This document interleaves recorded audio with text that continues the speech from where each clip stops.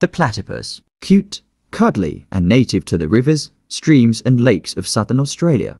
But don't let this fool you, because they are the weirdest creatures to ever walk this earth. It is classified as a mammal.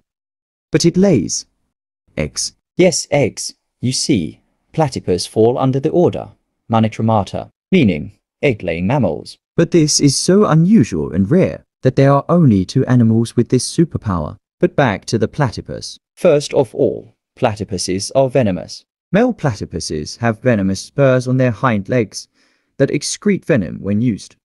But they luckily don't use them to tussle, but purely for intimidation. For our next superpower, let's first take a dive. Most people know that sharks use electroreceptors to hunt down their prey.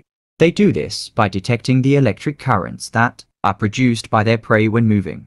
But do you know who also has electroreceptors? The platypus truly has it all. But do you know what it doesn't have? Teeth. Here's the thing. Platypus are born with tiny little teeth, but lose them as they age. This isn't a problem, because their mouths are so rough that they don't need teeth to grind up food. But did you know that that food doesn't go to their stomachs? Why? Because they don't have one. They're literally a tube. Something goes in, something goes out. This is just absolutely preposterous. Let's do a quick recap. They have the beak of a duck, the tail of a beaver, the hunting tactics of a shark, intestines like pool noodles, and eat like my great-great-grandpappy.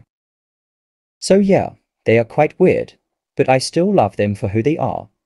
And you should too. Thank you for watching, and I'll see you in the next video.